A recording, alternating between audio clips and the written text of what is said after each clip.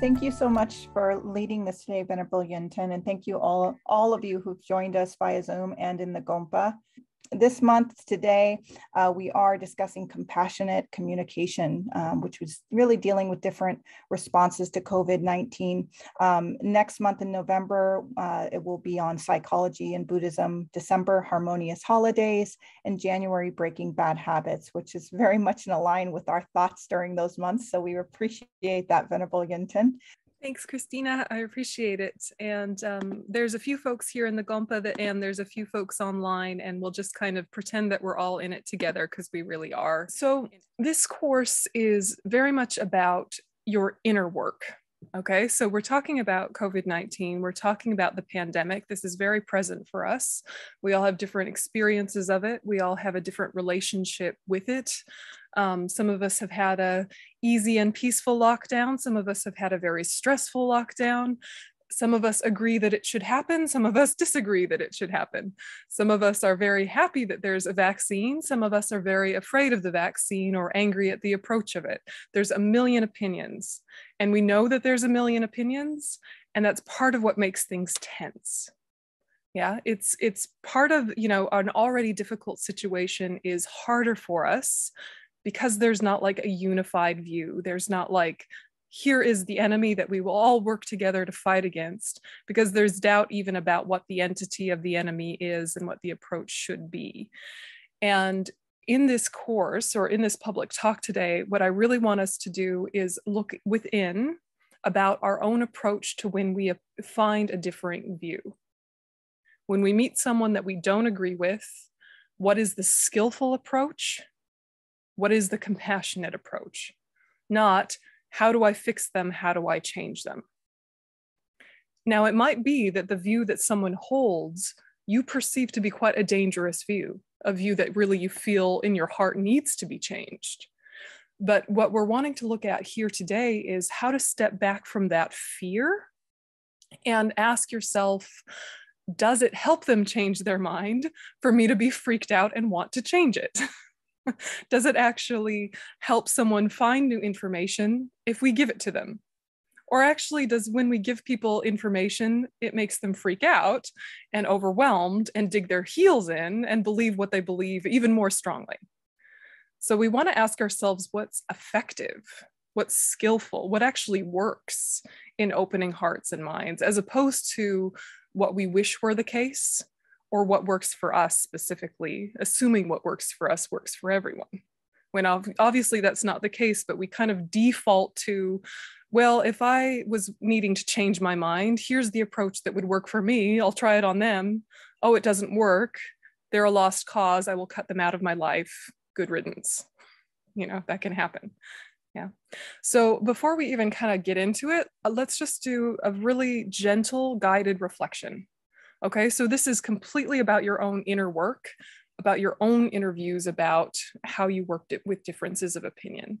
So it's somewhere between an analysis and a meditation, but approach it as if it's a meditation and just kind of like get yourself sat in a way that you can listen to your inner narrative and really be honest about what you think about things.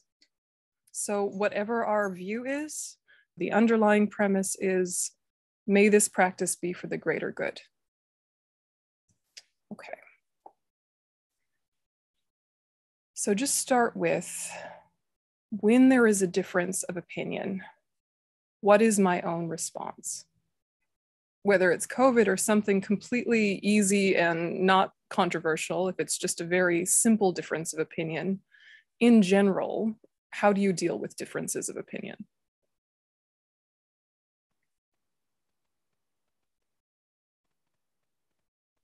And become more specific and ask under what circumstances do I feel threatened by differing views?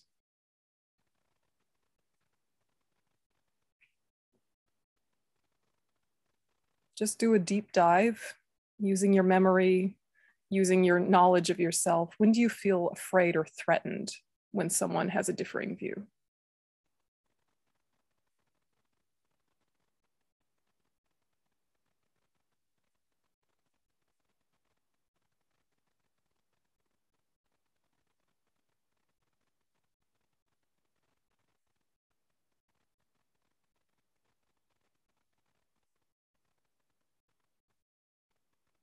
Where does the threat seem to come from?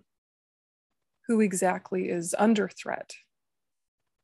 Hmm. Just, just kind of unpack where those opinions come from or where that sense comes from for you.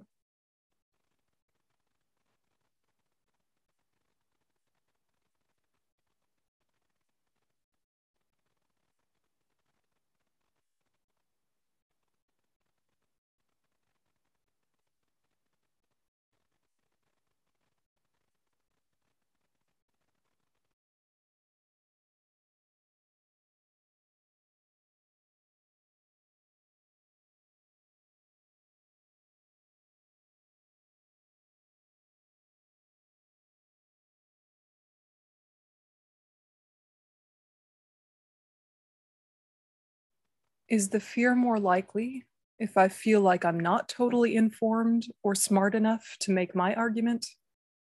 Is that when I'm more afraid of differing views? Just checking in may or may not be the case. But is the fear trigger or the sense of being threatened likely there?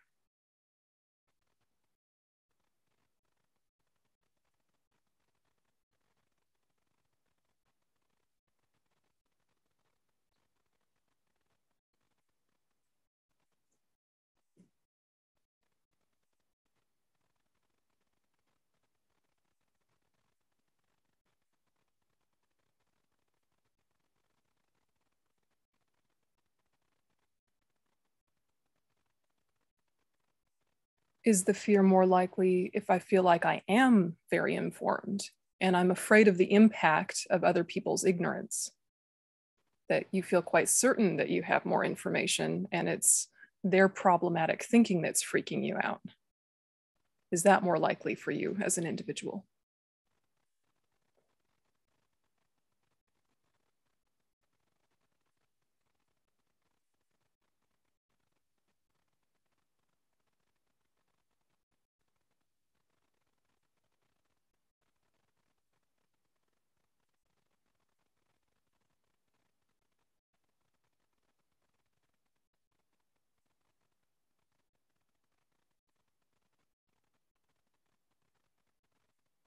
Under what circumstances do I feel ready to consider changing my mind? Are there ever circumstances where I'm open to being wrong and also being corrected? Is there any case? Not talking about the biggest opinions or the, the deepest views, but just even in everyday life, are we open to correction? Do we keep an idea that we might be wrong?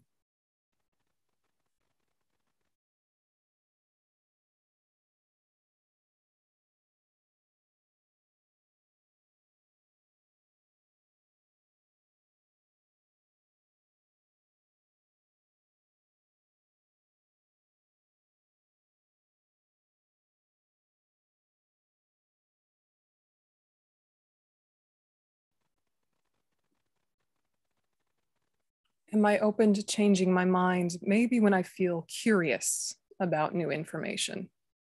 Is that a case where I'm a bit more open?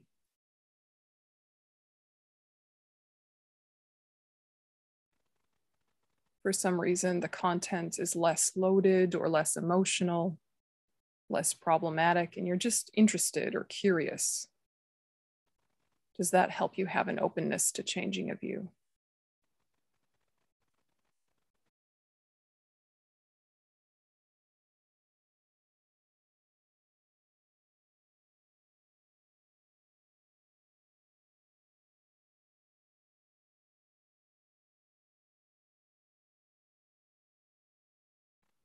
Or is it when you want to please the other person and maintain the relationship? You're willing to change your mind for the sake of your connection, or at least pretend to do so. Does that ever come up? Whether you think that's a good idea or a bad idea, does it ever come up? You just become agreeable because it's easier that way.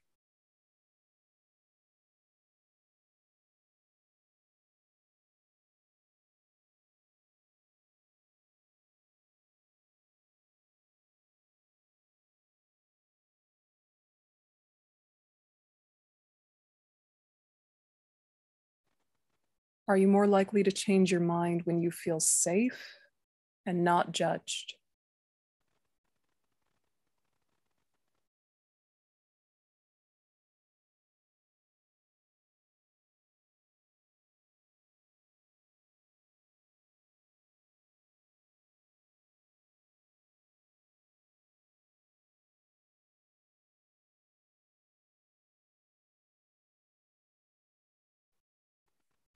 Do I feel more open to changing my mind when I find new information on my own? Or if someone I trust explains it?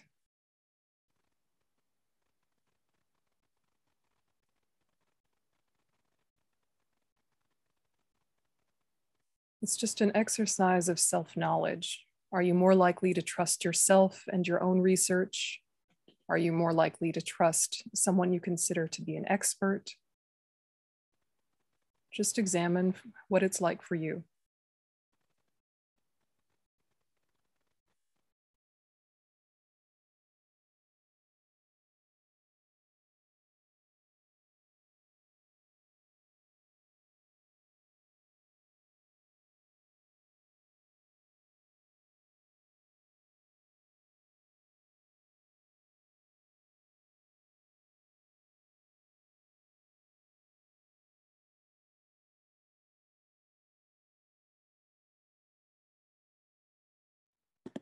Okay, so just relax your attention for a minute and just sitting with that.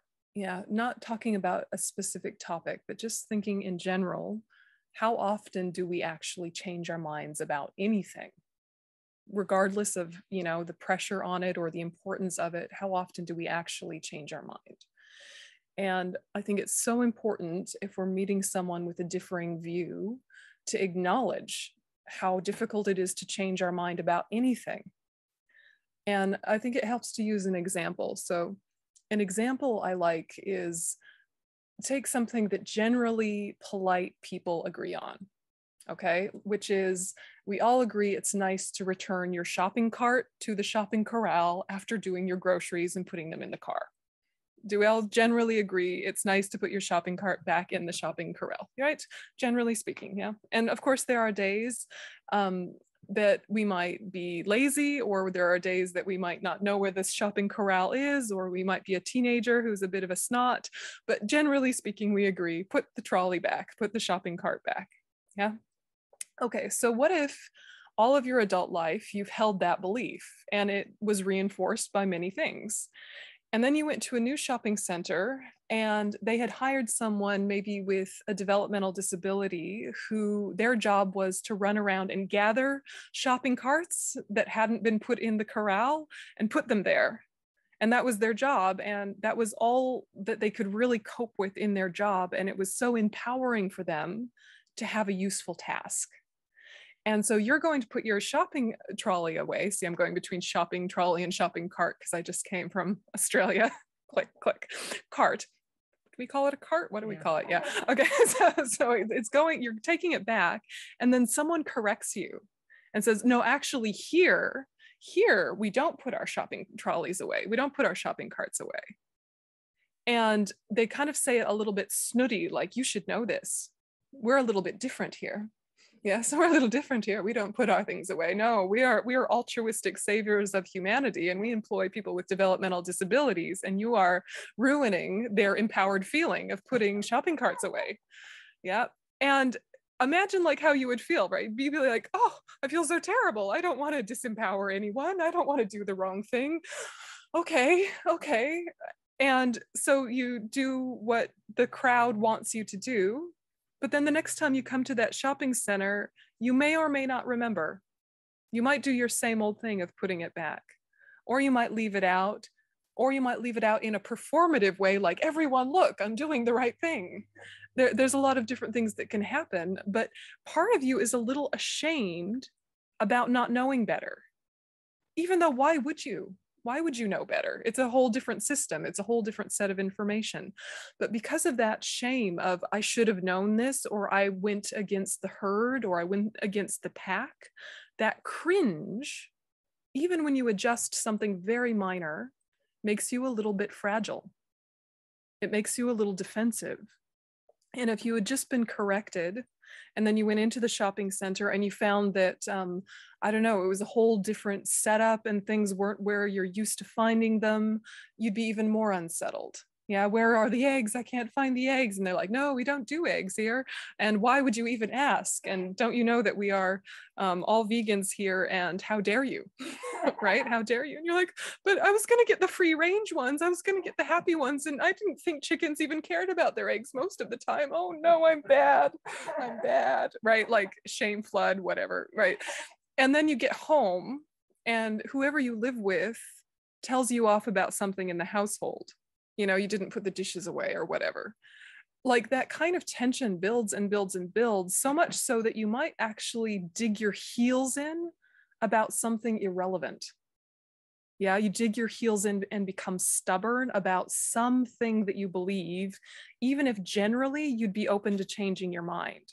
You're just like fed up with being told off yeah do you know that feeling of when you're just you're fed up about people criticizing you and telling you you're wrong so you just kind of hunker down in your beliefs and there is nothing that will change your mind once you get into that state. It doesn't matter how logical. Yeah you're you're it's just going to reinforce whatever views you have because your view right now is i'm under attack. Yeah. So when we're trying to open hearts and minds an attack is not the effective way info dumping is not the effective way. And actually, we should start the conversation with, I might be wrong. yeah, but it has to be genuinely, I might be wrong. And none of us really believe we might be wrong. Yeah. And, and so, how do you feel your way into a genuine openness of, I might be wrong, and that doesn't make me bad. It doesn't make me stupid. It doesn't make me anything except for missing a piece of information. And missing a piece of information is not a moral issue. It's just, it, I haven't come across it yet. So even if you're pretty sure that your view is correct, if you're trying to connect with someone with a differing view, you have to hold open the space in your heart genuinely that is ready to receive more information. Yeah, even if you're going to kind of hold your opinion, you have to hold it lightly. Otherwise, what's the point in ever talking about it? It's just going to be two people hitting their heads together. So you're like inviting a possibility of new information by you being the first one to open the door to it. And if they're giving you information that you don't agree with or you know to be wrong from your own logic, experience, research, you're still trying to keep that open mind that knows it is very hard to change our minds. Once we finally come to a conclusion or a belief, it's very hard to change our minds. And so, what is more important than harmony? Very few things. Very few things are more important than harmony. And in order to get out of that defensive space, you have to really accept the possibility that you might be wrong and that they or that they will never change their mind and that none of those are the ingredients necessary to stay kind to stay compassionate to even stay in some sort of relationship there are a few things that are a big enough deal in terms of a moral issue that you might say we have to part ways but I think we have the tendency to do the nuclear option and say, I must take a stand for all mankind and cut you out of my life because I don't like your view about this. You know, like it's saying something about you as a person. And there are a few instances where that might need to happen. I'm not saying there aren't. There are a few things that are extreme enough that you have to say to someone, you're out, yeah, until you fix this, you are out. And even if you do fix it, it might be the damage in the relationship in the family is too much to welcome you back here. But I'm not going to get all kind of punitive about it and retaliate because that's not how I roll. Right. But, you know, there are very few things that are a big enough deal to say out of my life forever. Yeah. So when we're looking at these things, I think it's useful to look at the Buddhist framework of logic. So there's one logical set that we do in Buddhism, which I think is really interesting. And this is called looking at the four possibilities. Okay, so with anything, like we're just taking this as an example. Take whatever it is that you're hung up on, you can run it through the filter of the four possibilities. So you can ask, is it a logistical issue? Is it a moral issue? Is it both a logistical and a moral issue, or is it neither? Yeah. So basically, is it A, is it B, is it both A and B, or neither A and B? Because once you kind of like get your head around that, then you can start unpacking what is skillful action.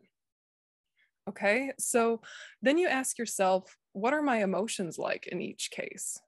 Okay. So if this is just a logistical issue, am I more likely to be relaxed about it? Yeah. If it's just a matter of strategizing and making plans and just kind of getting things into place, am I more likely to be kind of chilled out about that because that's my personality or the way I learn things? Or do logistics kind of freak me out because there's too many moving parts and too many details and they make me feel overwhelmed?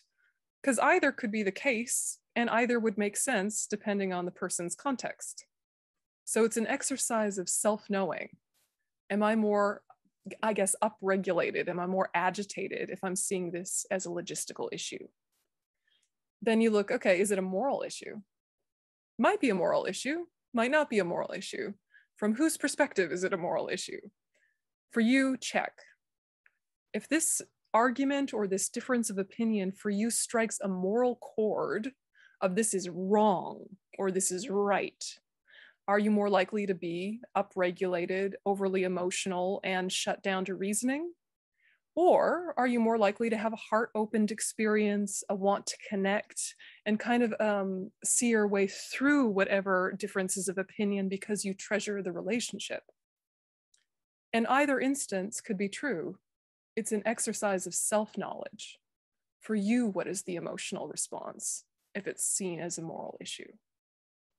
And if it's both or if it's neither. But you're just kind of sharpening the horns of the dilemma in your head so you're not so overwhelmed with the, with the feeling of i don't know what to do. This is too much. You're not in alignment with the rest of my friends. It's too hard. Just go. Yeah you're trying not to get yourself to that nuclear option of just f off right? Because that is not healthy and that's not the way into a harmonious society or a way to logistically problem solve stuff because you're never going to get everyone to agree about stuff does that mean you can't have a harmonious society? Yeah. So you're just checking in now what is my effectiveness in either case? And if your effectiveness is more likely to be there if it's a logistical issue choose to frame it that way. If you're going to be more effective if it's a moral issue choose to frame it that way.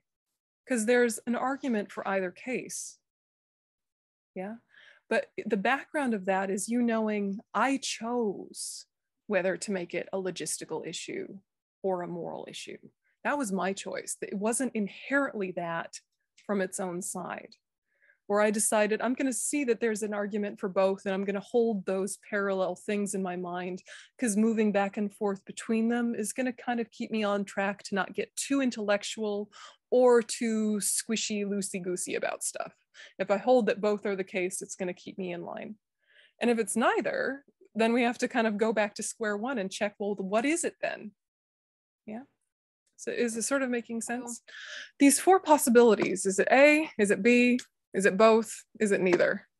And then once you kind of sort that out for yourself, you ask, what's going to be my response given that?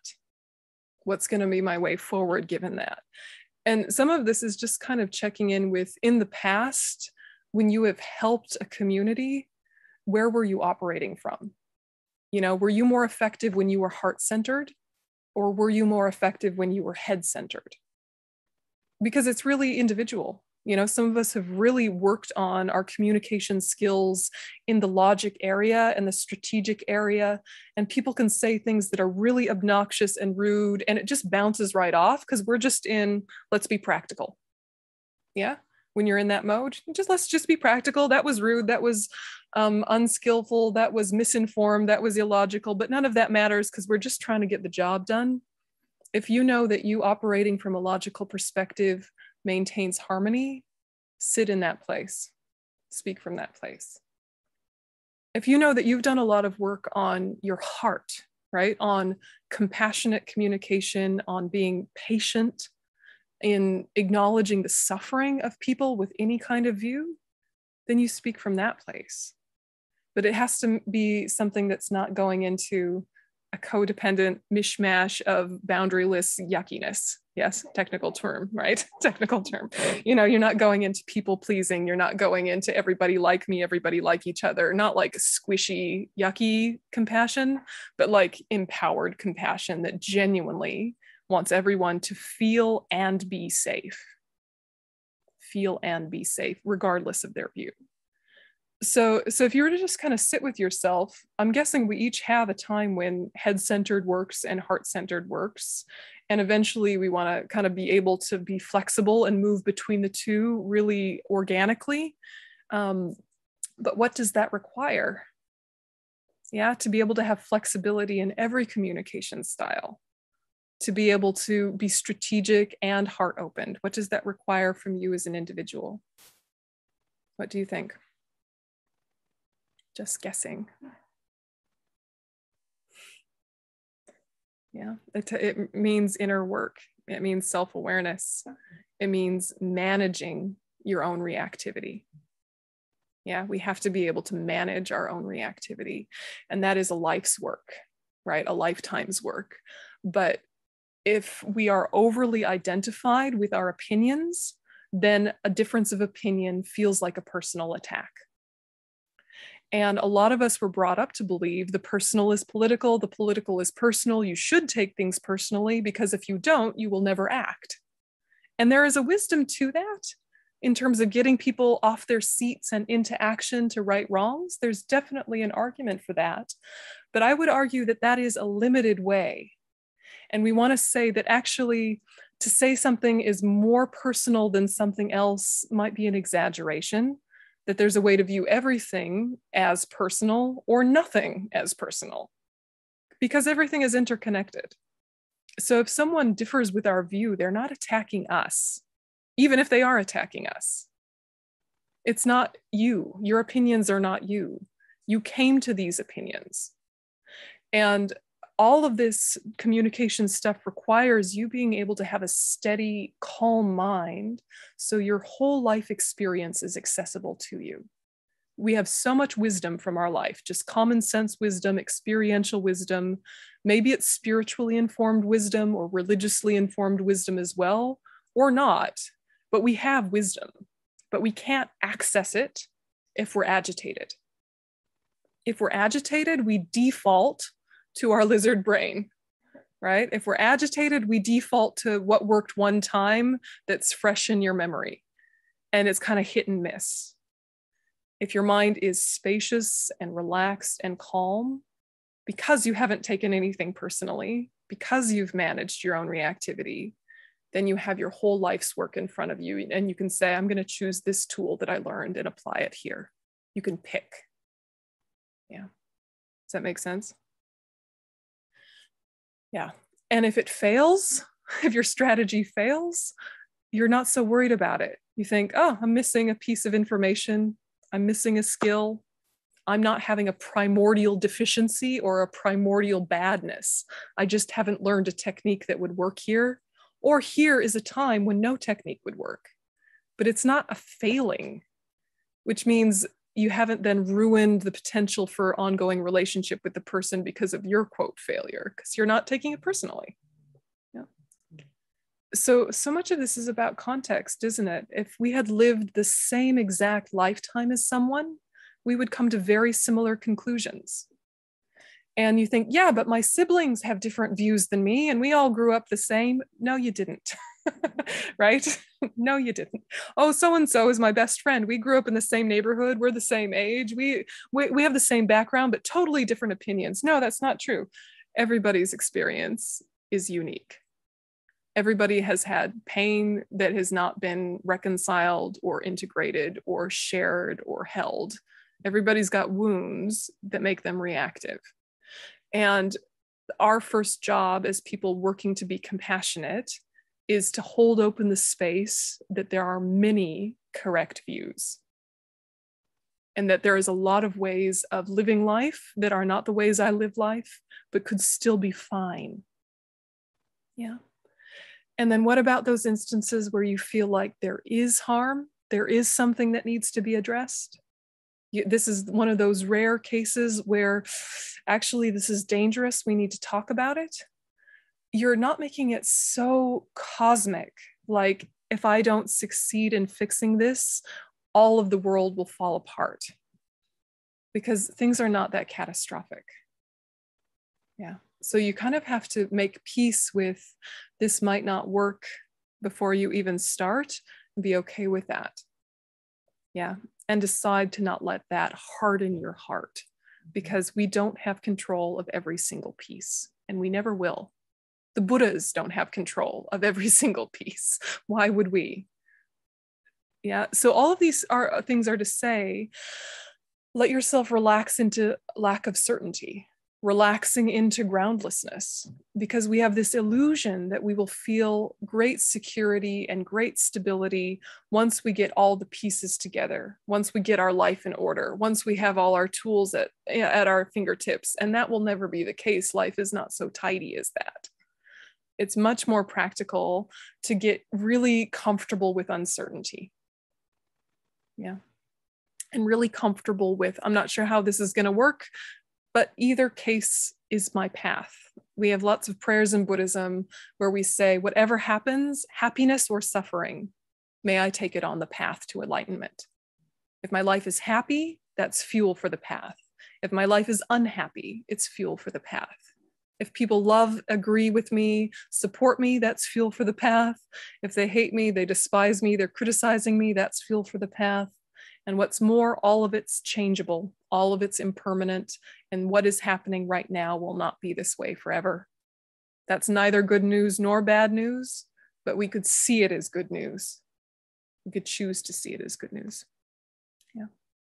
So that's that's the you know thought for the day. um, what what questions do you have? Yeah, Christina. Um, what's coming up for me is is so there there's this idea of like the right and the wrong right um, that i personally have struggled with and so it's like that black and white this is right moral or not moral or, or i should say immoral um, and and what came out of uh, for for many years is I finally got to this place of okay, I'm I'm going to work very hard to let go of the right and wrong, but then there became a groundlessness from that, and so it kind of struck me when you use that word because it, it became um, very like unsettling.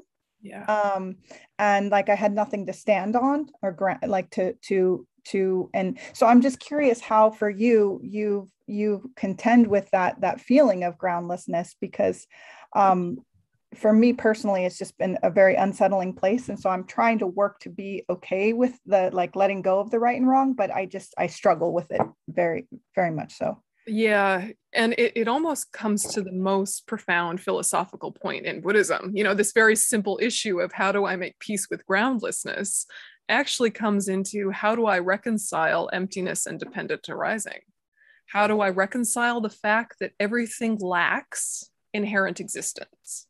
So there is no inherent right, there is no inherent wrong. They are only right or wrong contextually right? Only various causes and conditions make something the right thing or the wrong thing. And even that label not existing from its own side. So that is true. Then how do you function? how do you live in this world? And the lack of inherent existence does not negate ethics. Yeah. But ethics are contextual.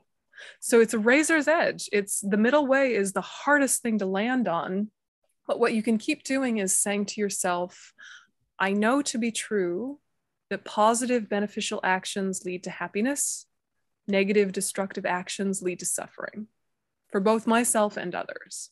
I know that cause and effect is true. But what that actually is in this moment, I have to stay flexible enough to not default or go into autopilot and just assume. I have to hold open even if this moment looks like a million moments before it, and this relationship looks like a million relationships before it, I need to have the freshness of perspective to see that there are new elements I haven't seen exactly in this formation before. So, what is positive and what is negative has to be decided in the moment and then let go of, and decide in the moment and let go of. And that's the comfort and the groundlessness is I want to work for the greater good. We want to work for the greater good. But that is an ever shifting definition. What is the greater good anyway? So it's like as soon as you lock down, you have to release.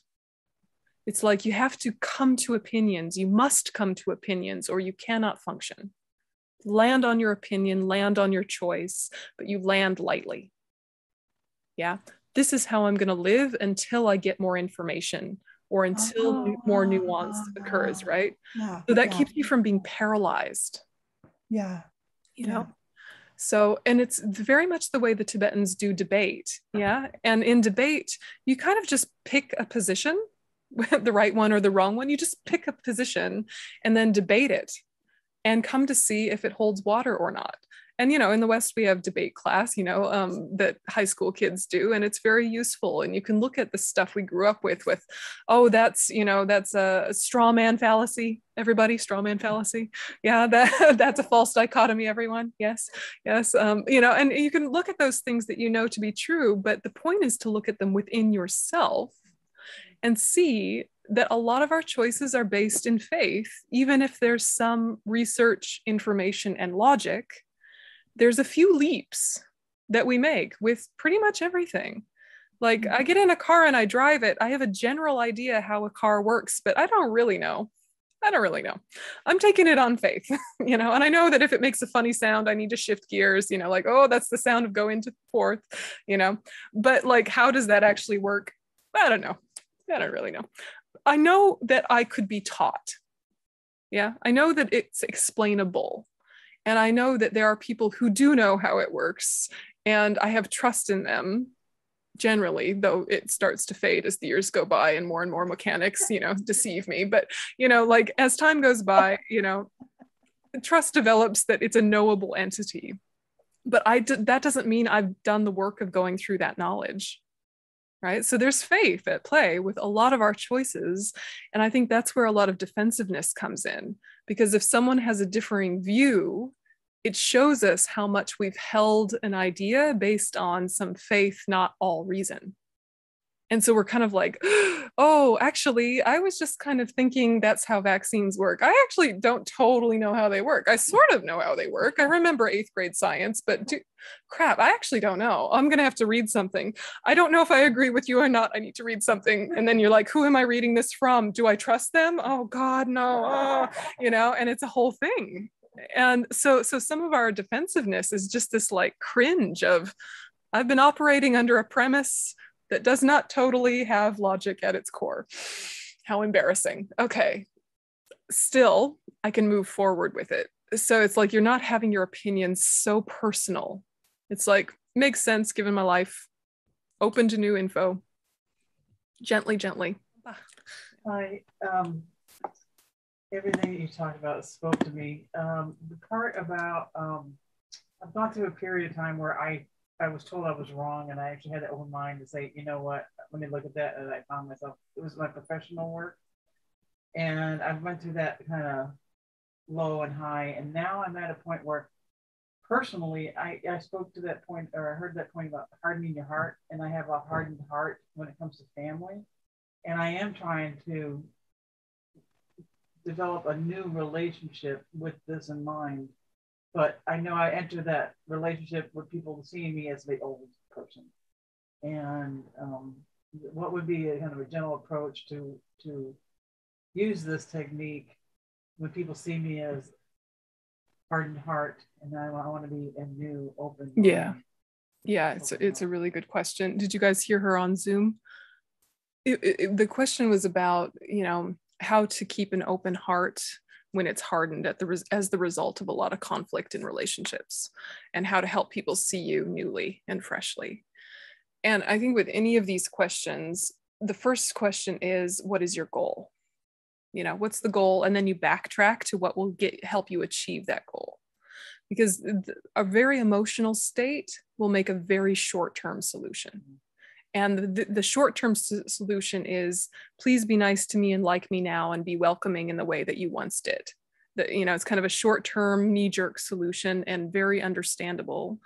But if you can kind of take a little step back and ask what is my best case scenario long term do i want a continued relationship with these people? Is there a benefit to that? A benefit to them, a benefit to me, a benefit for society as a whole? Is it good for us to be in each other's lives? And that's a question we might not have even asked. We're just so used to being in each other's lives, we assume it's the default. You know, so just kind of like open up the possibilities a little bit and ask, is this the best thing? And if it is, then you start to strategize with what actually helps you be seen in a different light, consistent behavior that is different than how they branded you. And it's going to take twice as long as it seems like it should have and you've proved yourself a million times over. But if it's important enough to you, you just see it as part of the cause and you let go of expectations of how long it's going to take. You know, just gently, gently. And, and I think it helps to see the benefit of the new situation because then it makes you less panicked about trying to force it into something else. Yeah and it might be able to go where you want it to go but if you make peace with what is then you kind of release the tension around it.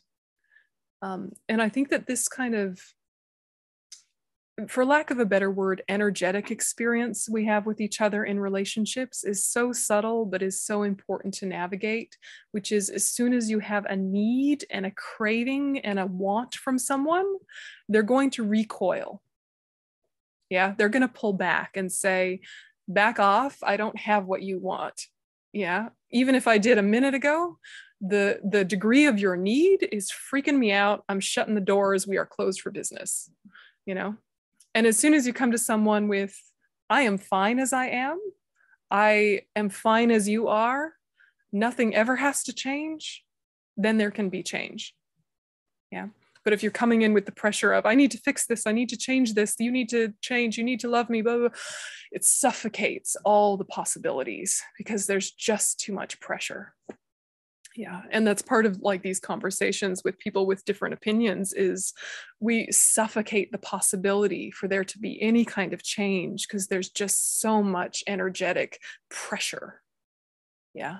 People aren't going to change under those contexts yeah, they're going to hunker down and be even more what they were before because it's too much. Yeah. Other other thoughts? Um, I um, you know, have a young daughter, and I think a lot about what it must be like for her during this time and how, you know, all these people who have been in, you know, what we would look at as positions of authority really don't know. Yeah. You know, and, and that keeps showing up in all different ways. And so I think a lot about um, you know, in my personal relationship with her, how to help be a support and give her some foundation. But I also think sort of more globally about, you know, mm. what happens with this generation and how do they sort of proceed through life and, you know, how can we as a, a community support them, um, you know, with this sort of knowledge that whether it's just as the parent or the teacher, or you can just keep going, the answer continually is, I don't know. Yeah. I don't good question. I don't know. And what that must feel like, you know, yeah, to have all these people around you saying, I don't know.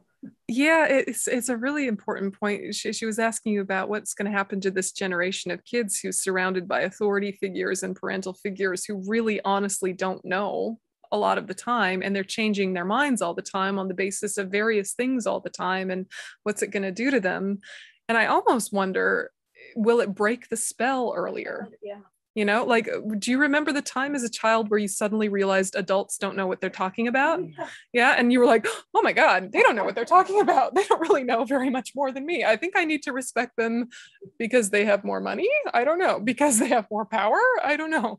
But they don't know anything. Oh god. We're all just kind of you know bumping uh, into walls here. Um in a way, I wonder if this is going to make a, an amazing breed of kids that already know that there is comfort and safety not reliant on certainty, that there's a comfort and safety in inner resilience of when you have tried something hard and then seen yourself able to stay alive through it and stay relatively sane through it, then you have such a confidence in yourself. Mm-hmm I, I think it's going to be hard, but uh, in a way, I wonder if it's going to make a really interesting breed of kids to already from the outset know no one really knows what they're doing, and that's okay. And changing your mind is going to happen a million times. Let's make it safe to do so. And what's the thing we can rely on? Our own inner developing wisdom and heart, which is still growing and not perfect yet, but it's something that is always that potential is there. You cannot ruin your potential. You know, you can only develop and expand it. And so you get that inner resiliency that says, I made it through this, I can make it through that. You know, the, the the worry is that the kids are going to get too fatalistic and apathetic because it feels like everything is falling apart and the world's going to end in flames and they're going to be all alone in a crazy planet that's suffocating them. And why try to do anything? Why have hope? And that that's the fear i think is that there's so much uncertainty. And what seems to be true is the world's going to hell that they'll just kind of collapse into their video games and just wait for it to be over you know? That, that's the worry.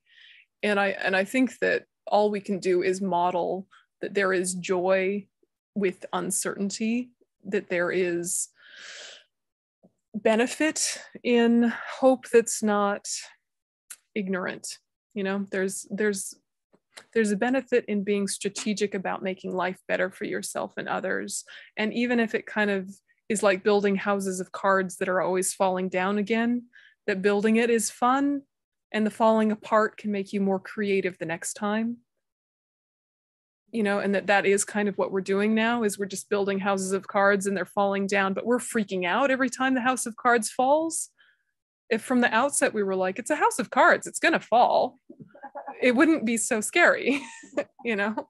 And then we build a new one better you know? I don't know it's it's it's a challenge but um i don't i don't envy the kids but in a way i think it's going to be okay I think these are going to be some strong little cookies. No, but yeah, what were you going to say? Oh, I was just going to relate to not only realizing that the grown-ups don't know what they're talking about, but suddenly realizing I'm a grown-up. I don't know anything. oh, no. Suddenly realizing you're a grown-up. and, and I know nothing. And I also wonder about the children because I wonder at what age they can even brains are developed enough to recognize these concepts. Like, I wonder when that is. Like, yeah. I remember my grandson, he must have been about six or seven when he discovered that we all die.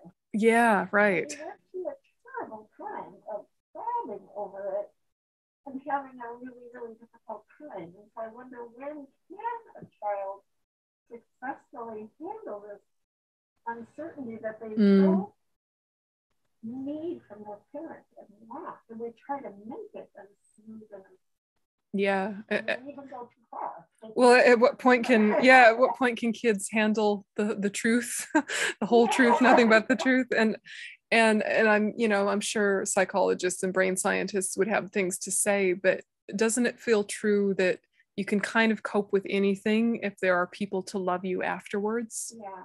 or during more importantly yeah. if there are people who are not lying to you they're saying there's a lot of uncertainty right now what's true is i care about you yeah. there's a lot of things we don't know right now i will never give up on you and i feel like that kind of stability even though you know we can't make complete promises that way because we could die any day we could die from getting hit by a bus never mind whatever's happening with the world and the pandemic you know people die every day.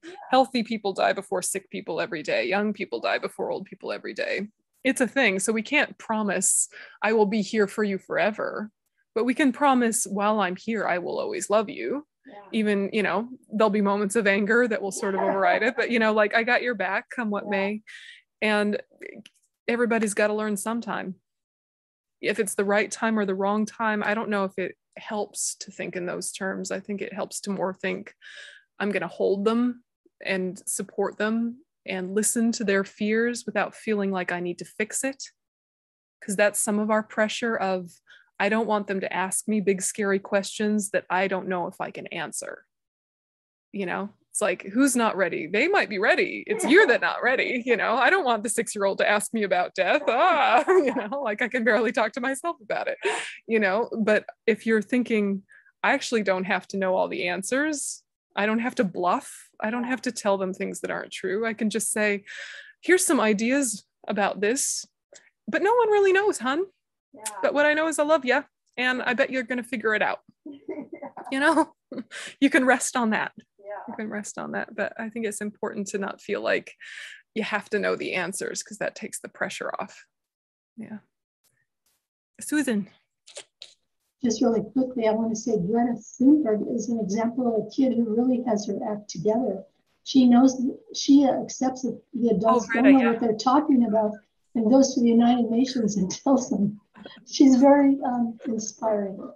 yeah yeah go greta. It's always like sorry yeah you're right you're right i'm sorry yes i'm sorry for everyone my age and older i'm so sorry. You're right you're right kiddo.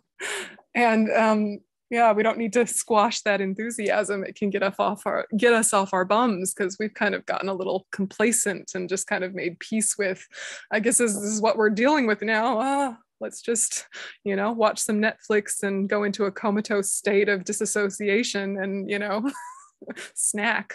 And the kids are like no! You know, so they can get us off our bums.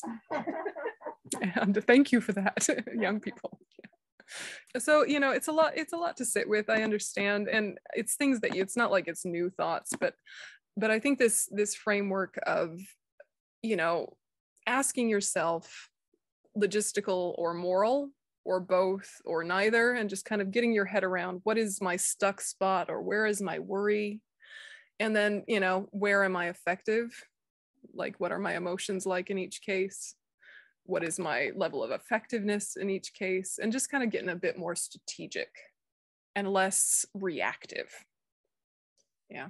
And and keep coming back to that point of it is hard for anyone to change their minds about anything. Let's be patient with each other and hold open the i don't know everything vibe. Because if you're meeting someone with a i don't know everything vibe you don't feel so judged you don't feel so much pressure. Collaboration can open up. And that's really where we want to go with all of this is the spirit of collaboration of you know pieces and i know pieces and you know pieces and let's talk together rather than making it a fight for dominance or a fight for rightness it becomes a let's come together and share things and just figure this out together all right thanks everyone Thank And- you so much, Venerable Yonten, for your precious time that you give us and for all your teachings. We really appreciate you. Um, this event will be happening again, just as a reminder, next month. Um, if you'd like to be on the email list for upcoming events, uh, you can email spc at medicinebuddha.org. I put that in the chat along with the next uh, large big event that Venerable Yonten will be doing. Of course, she has class next Wednesday on the six perfections. Um, also, uh, she'll be leading the White Tara retreat um, next weekend, not this coming weekend, but the following weekend, October 16th and 17th. I thank you again, Venerable Yonten, for your precious time. Thanks, guys. Thanks. It's wonderful to see you all. And uh, if you have any requests for topics you'd like us to do, send them to the SPC, send them to Christina, and we can look at it. So I'm open to suggestions. All right. See ya. Thank you. Bye.